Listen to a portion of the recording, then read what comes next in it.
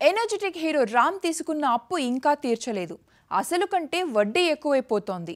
ఎప్పటికప్పుడు ఇంట్రెస్ట్ అయినా చెల్లించేస్తే భారం ఉండేది కాదు. కానీ ఇప్పుడు అసలు వడ్డీ రెండూ చెల్లించాలి. అసలు రామ్ ఏంటి? ఈ వడ్డీ గొడవేంటి అనుకుంటున్నారా? ట్విట్టర్లో రామ్ పోస్ట్ చేసిన వడ్డీ కథేమిటో చూద్దాం. హలో గురు ప్రేమ కోసమే తర్వాత రామ్ నటించే సినిమా ఇంకా కన్ఫర్మ్ కాలేదు. ఎదురు చూస్తున్న ఫ్యాన్స్లో ఆనందం నింపడం కోసం ట్వీట్ చేస్తూ హలో గురు ప్రేమ కోసమే అనుకున్నంత సాటిస్ఫై చేయకపోయినా హిట్ చేసిన ప్రేక్షకులకు ఫ్యాన్స్కు నా కృతజ్ఞతలు.